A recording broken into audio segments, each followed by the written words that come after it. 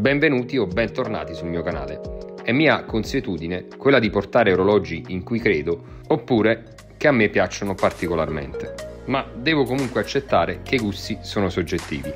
E al riguardo oggi porterò Argon Space One, un progetto di design, oserei dire, nato da due enfant prodige come Guillermo Laide e Theo offre. Friday abbiamo imparato a conoscerlo grazie al rilancio prima di Nevada e poi di Vulcan. Scopriamo insieme questo futuristico orologio.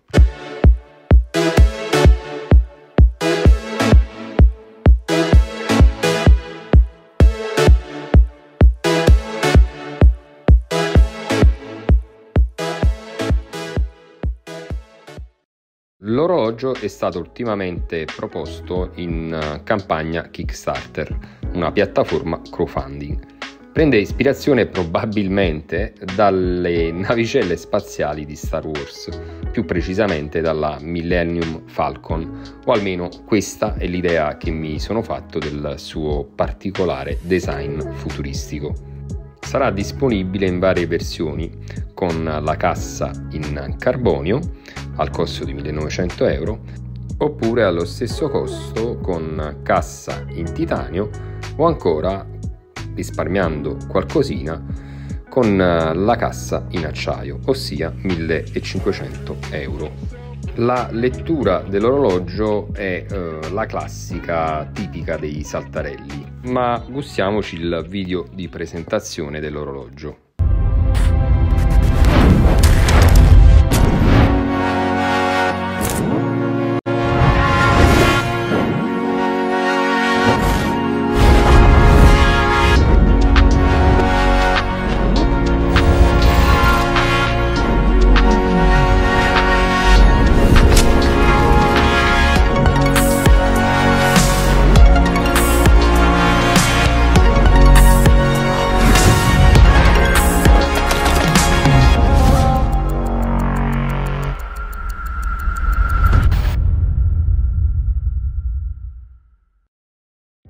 Devo però ammettere che questo genere di orologio eh, non fa parte del mio gusto personale. Tuttavia ho voluto fortemente portare sul canale eh, questo marchio e questa campagna Kickstarter in particolare perché eh, ho trovato molto molto originale il progetto. Originalità non proprio tecnica ma più che altro stilistica.